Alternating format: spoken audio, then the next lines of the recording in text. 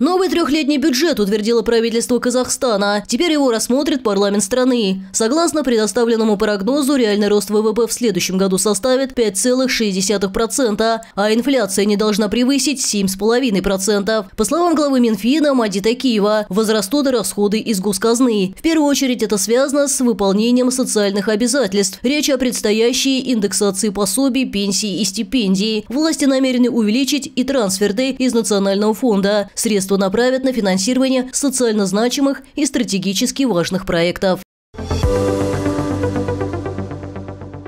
Перед началом учебного года в столице Казахстана открыли новое общежитие на 400 мест. Это частично решит проблему жильем для студентов, но дефицит пока большой. К строительству общежитий государство привлекает частный капитал и дает субсидии на каждого проживающего студента. В среднем инвестор за 6 лет может окупить проект. Согласно плану Министерства образования, в ближайшие 5 лет в Казахстане каждый год будут вводить по 10 тысяч мест в общежитиях.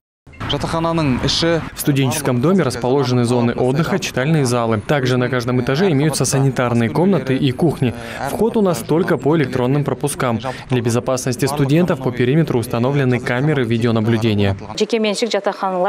Таким образом, в течение шести лет есть полная возможность вернуть затраченные на строительные работы средства. Это создает стимул для частных компаний вкладывать в развитие университетской инфраструктуры, возвращая вложенные средства через систему государственных выплат. Согласно последним данным, на сегодняшний день в стране построено более 50 тысяч мест в студенческих общежитиях, что является результатом государственной поддержки и частных инициатив.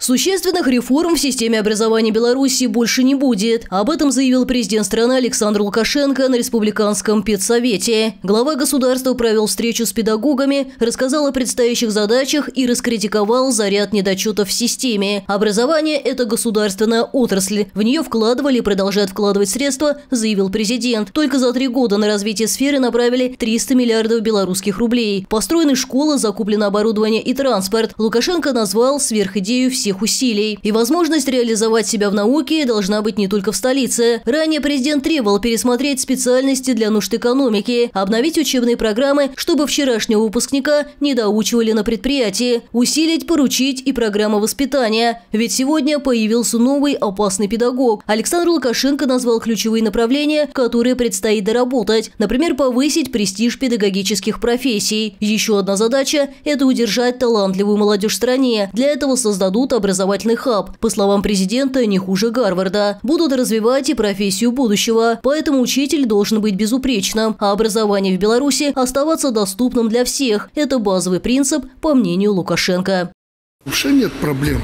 Может, даже уже и на педсоветы собираться не надо. В вашей работе нет мелочей. Любые нестыковки, недоработки приводят к тому, что штормит всю страну. В Мексике продолжаются протесты против реформы судебной системы. Тысячи людей вышли на демонстрацию в Мехико с требованием остановить нововведение президента Мануэля Лопеса. Протестующие планируют продолжать забастовку до тех пор, пока президент не отменит инициированные поправки. В случае принятия они позволяют избираться на должность судьи любому, кто имеет юридическое образование и несколько лет опыта. Участники акции считают это угрозой для условий труда и карьерного роста. Президент Мексики, напротив, считает, что судебная система Система в стране коррумпирована и поддерживает преступников, поэтому реформы необходимы. Власти Нидерландов оштрафовали компанию Uber на 324 миллиона долларов за передачу персональных данных европейских водителей в США. Было установлено, что при переносе информации о водителях на американские серверы компании не была обеспечена должная безопасность, что нарушает общие регламенты защиты данных Евросоюза. Речь идет о таких документах, как лицензии на такси, данные о местоположении и медицинская информация. Uber считает решение ошибочным и планирует подать апелляцию, ссылаясь на заявление заявление Еврокомиссии от июля прошлого года о том, что США предоставляют достаточную защиту европейским данным.